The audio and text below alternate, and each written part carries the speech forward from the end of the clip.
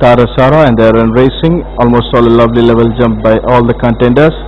As they settled down to race with Ross to the early lead, it's dazzling Princess in front by about half in front from Kabza on the inside. Now making a steady progress on the outside as it passes the 800 meter mark is Super Cool and Rajkumar. Then comes Kabza. Then about two lengths back there is Arudra. Then about length back the grey horse is the Sweetie Girl. For the two lengths back True Scholar. Then comes Vijay's Victory and distance behind is Cypress Way as they'll start negotiating the bend. Round the turn into the straight with about 450 more on the deck and Star Cup. Dazzling Princess still in front on the outside Super Cool. Closely tracking Super Cool on the far side. It's Rajkumar running in the inside is Kabza. Closely tracked by that's Arudra and Sweetie Girl. But with about final 250 meters more run on the outside. Rajkumar running in the inside. Kabza in between is Dazzling Princess and Super Cool.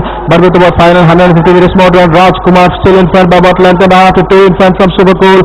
And it's Rajkumar.